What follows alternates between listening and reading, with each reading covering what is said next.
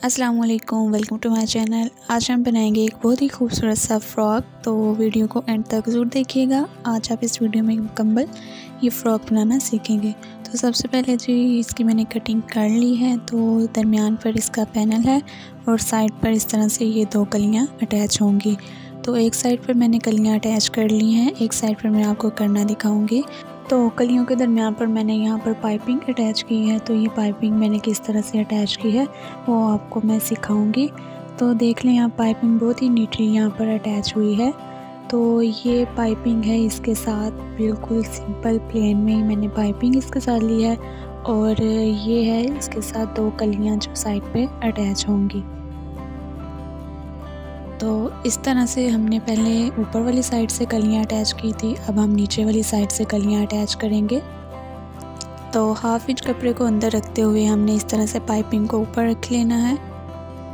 और फिर अपनी कली को हमने हाफ़ इंच अंदर को फोल्ड करके इस तरह से पाइपिंग के ऊपर रख लेना है।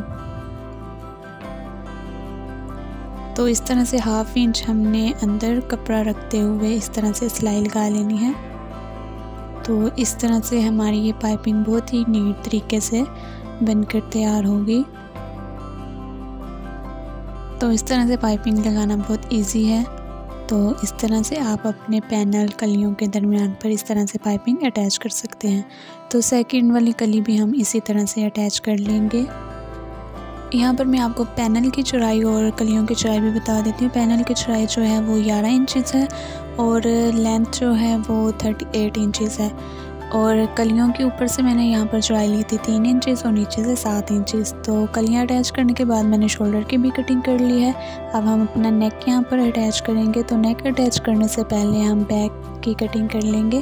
तो बैक की कटिंग हम इस तरह से करेंगे कि हमने फ्रंट वाले शर्ट के पीस को बैक के कपड़े के ऊपर रखना है और इस तरह से इसकी कटिंग कर लेनी है। तो बैक शोल्डर की कटिंग हम डीप नहीं करेंगे।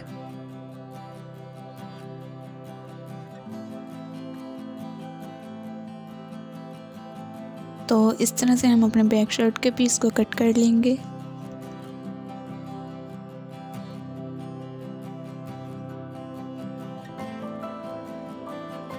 तो अब आ जाते हैं जी अपने नेक की तरफ़। तो नेक हम इस शेप में बनाएँगे। और इसको हम पहले कपड़े के ऊपर अटैच करेंगे, फिर हमने यहाँ पर अटैच करना। है तो इसके साथ मैंने ये टसल वाली डोरी ली है तो इसको हमने इस तरह से इक्वल करके दरमियान से कट करना है और एक साइड हमने इस तरफ़ अटैच करना है कॉर्नर पे और एक साइड इस तरफ़ पर अटैच कर लेंगे। तो ये देखिए, अब मैंने इस तरह से ये नेक अपना अटैच कर लिया है। तो इस तरह से ये हमारी जो डोरी है वो आ जाएगी। तो इसको बाँध के इस तरह से इसकी लुक आ जाएगी। तो नेक के बाद मैं यहाँ पर हर चीज़ रेडी करके आपसे मिलती हूँ। तो इसके शोल्डर बाजू वगैरह हर चीज़ कंप्लीट करने के बाद अब मैं आप सबके साथ ये शेयर करने लगी हूँ। तो ये देखें, यहाँ पर मैंने ये बिल्कुल रेडी कर लिया है कंप्लीट अपना फ्रॉक रेडी कर लिया है। तो इस तरह से ये इसके स्लीव्स आएँगे जॉइंट लेस यहाँ पर मैंने लगाई है और फिर आगे इसके प्लेन कपड़ा लिया है और एक इंच का फासला छोड़कर यहाँ पर प्लेट्स डाली हैं और आगे इसके इस तरह से फोल्डेड कपड़ा अटैच होगा।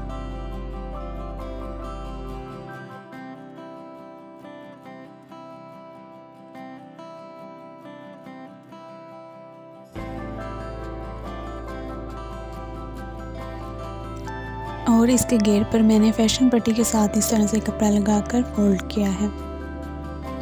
इस तरह से कपड़े की अलग ही लुक आती है। तो ये देखें आप इसकी वाला लुक तो आपको आज की ये वीडियो कैसी लगी है? कमेंट में ज़रूर बताया करें। वीडियो अच्छी लगी है तो वीडियो को ज़रूर लाइक करें शेयर करें। और अगर आप मेरे चैनल पर न्यू हैं, आपने मेरे चैनल को अब तक सब्सक्राइब नहीं किया हुआ तो प्लीज़ सब्सक्राइब करें। ताकि मेरी आइंदा आने वाली वीडियो की नोटिफिकेशन आपको सबसे पहले पहुँचे। तो मिलते हैं अब अपनी नेक्स्ट वीडियो में। तब तक के लिए अल्लाह हाफिज़।